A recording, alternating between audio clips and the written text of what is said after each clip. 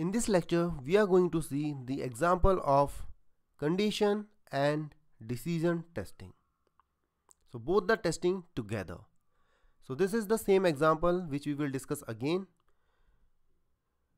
You are testing a photo enforcement system for traffic control in an intersection. A photo will be taken if the following two conditions are true.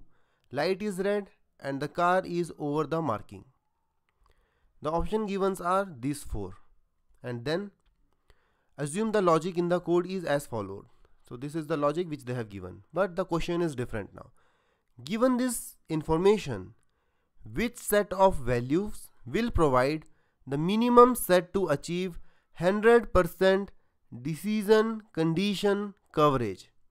So now you have to cover 100% decision coverage as well as 100% condition coverage. Whereas in previous examples we have seen 100% condition coverage or 100% decision coverage. But here we will see 100% condition coverage and 100% decision coverage also. And the options are again same. So now let's try to start analyzing it. So this was the code and this is the condition. So let's take this uh, table to fill and we will take first two examples. When we take first two example, this is red, again red, this is wheels and this is not wheels. If we see the decision, we get 100% decision coverage because decision is true and here the decision is false. 100% decision coverage is achieved. But whether we have achieved 100% condition coverage? No. Because this is red and this is also red. So both are same, both are true and that is the reason we could not achieve 100% condition coverage. So 1 and 2 is not our option. Moving towards the next one. So here we will see the first one and the third one. When we take these two as an example, then this is red, this is not red. Red and not red. The next two are wheels and wheels. And the conditions are true and false because these two are, if these two condition happens, then this become true. But if we see this option, this is also wheels, this is also wheels. So now we are again not able to cover 100% condition coverage whereas we have covered 100% decision coverage.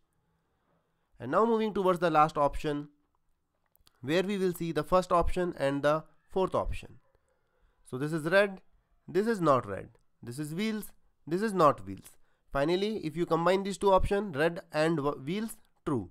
Not red, not wheels, false.